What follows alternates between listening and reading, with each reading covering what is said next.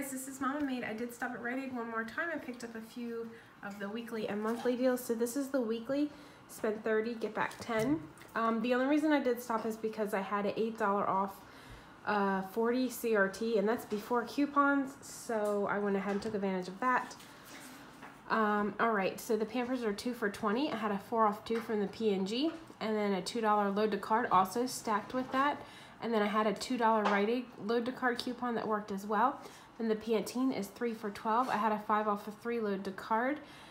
And then um, that also counts towards the spend 50, get back $10 Rite Aid. So what I'm just going to do is just pick up things throughout the month and have that track up to $50 instead of trying to get it all at one time. I think it makes more sense.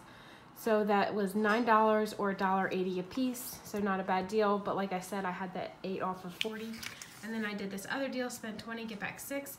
The pods are $5.94. I had a $3 loaded card coupon. And then my mom always pays me for those because she likes those. The four Febreze are $2.99. The BOGO P&G came off just fine. Three off of two load to card didn't work, so I'll just contact them about that. And then the Swiffer is $3.99. I had a dollar load to card, so after all the coupons and all the uh, money back is $8.89 or should have been $5.89 if that P the load to card would have worked. But like I said, I had the 8 off 40, so it was a really good deal. And then I also did pick up on some clearance Tresemme.